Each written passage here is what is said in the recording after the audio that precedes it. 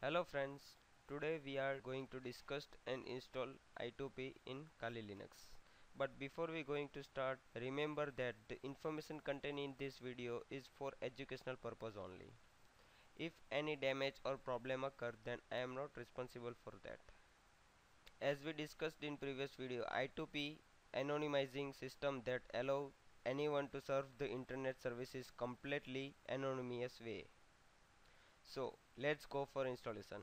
But before we start we need to install java which is very simple to install. We can do it either terminal or package manager but i prefer doing it through terminal. So apt get install default dash jre well in my case it is already installed so don't have to install it again. If this is the same case with your machine then you can move to the next step. Otherwise you need to install it first.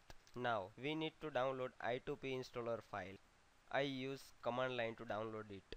So wget you can also see the link below. And our downloading process is started and it's completed. After package is downloaded we can install it by giving the simple command java dash jar and our exe file name.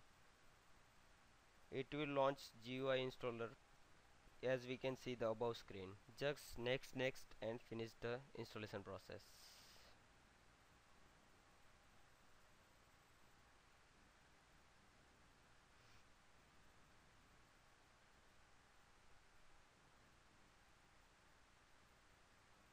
after installation is done let's go to the user local.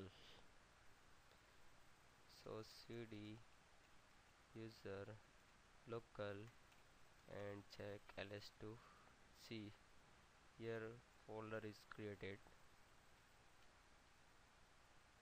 So cd i2p and also now just type sh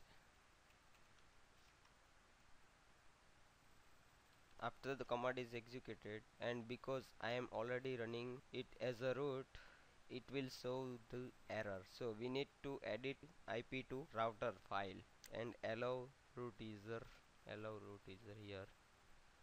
You can see here.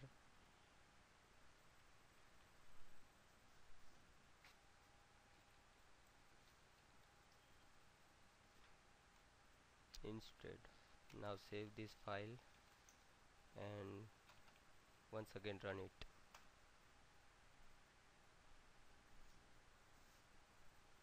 Then you can see it will run. After I2P router start we automatically redirect to the I2P web interface. You can see here.